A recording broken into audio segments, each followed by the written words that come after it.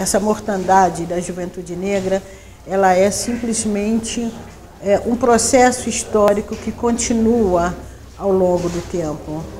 E hoje é, nós, nós vemos né, essa situação cada vez mais é, revigorada. Agora, é preciso que o organismo é, internacional é, perceba isso, é, denuncie, porque nós brasileiros nós fazemos vistas grossas a, a, a, muitas coisas, né?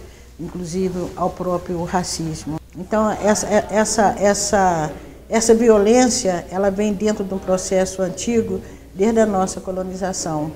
Agora, é, é, é lógico que a gente tem uma resistência e pelo menos busca uma esperança de que o futuro possa ser melhor.